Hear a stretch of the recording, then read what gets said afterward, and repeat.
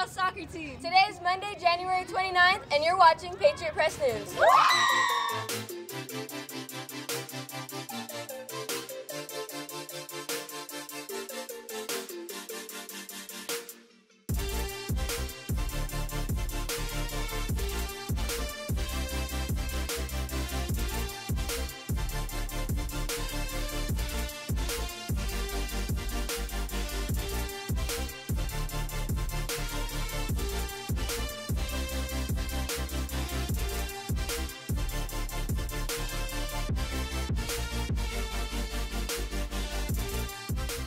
Welcome back from the Weekend Heritage. I'm Chase Ackerman, I'm Taylor Thompson.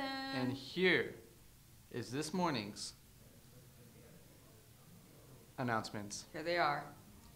Need some help with science? Miss Munoz is here to help on Tuesdays from 3:15 to 4:15 with study tips, test taking strategies, and prep for the SAT. Make a Wish will be having a coin drive this week. Each third period class will be having a blue cup. Whichever class collects the most money by Friday will win a donut party. Heritage High School will host the ASVAB February 14th, 1st through 4th periods. If you are a senior who is interested in taking the test, please see Miss Smith in counseling to sign up. There are limited seats for seniors, so it will be a first come, first served basis. Better come. Better serve. the Patriot Olympics are back on March 23rd, 2018.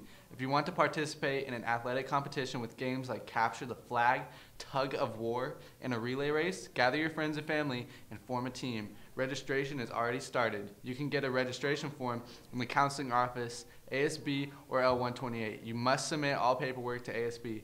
Early registration from January 23rd to February 16 is $12, and late registration from February 26th to March. Wow, that went too fast. March 9th is $15. Yeah, First so- come, come, first served basis. And that is there. it for us today, Patriots. And Thanks for your feedback on Wacky Wednesday.